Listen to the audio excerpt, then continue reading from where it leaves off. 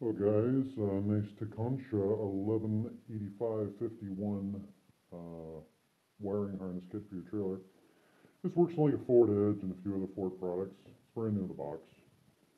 Um, it came with a uh, hitch that I had, I don't need the harness, so, uh, yeah.